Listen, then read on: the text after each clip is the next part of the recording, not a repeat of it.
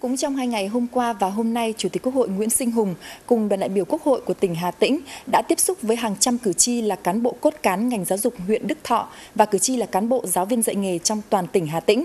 Điểm mới trong lần tiếp xúc cử tri lần này của đoàn là tập trung vào chủ đề giáo dục đào tạo. Đây cũng là thực hiện chủ trương đổi mới, nâng cao chất lượng, hiệu quả hoạt động của Quốc hội.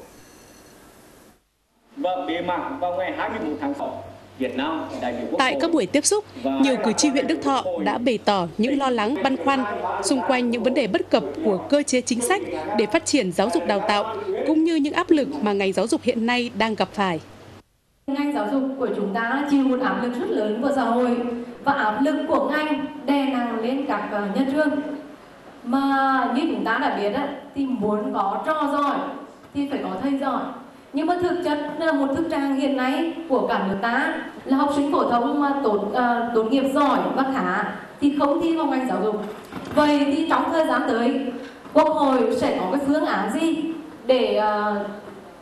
khuyến khích và động viên các học sinh giỏi đi vào ngành sư phạm? Muốn nâng cao thật sự chất lượng của giáo dục đại học phải thực sự trao quyền tự chủ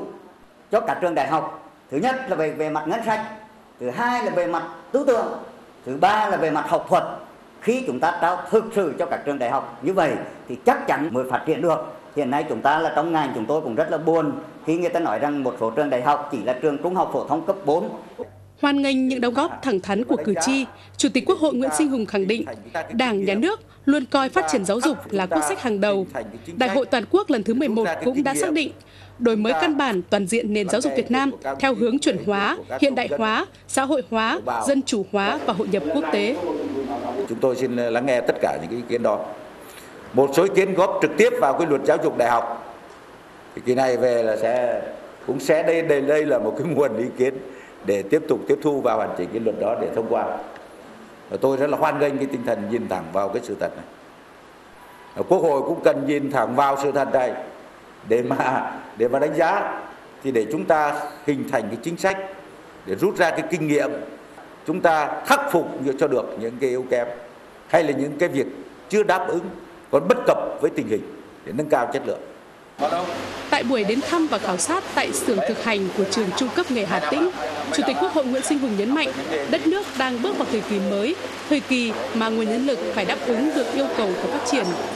Vì vậy, tỉnh Hà Tĩnh cần đưa ra các giải pháp thực hiện bằng được mục tiêu đặt ra, mở rộng mô hình đào tạo, đa dạng hóa phương pháp giảng dạy, đổi mới giáo trình, chương trình, tránh tình trạng lạc hậu trong đào tạo. Việc đầu tư dạy nghề cũng phải có trọng tâm, trọng điểm.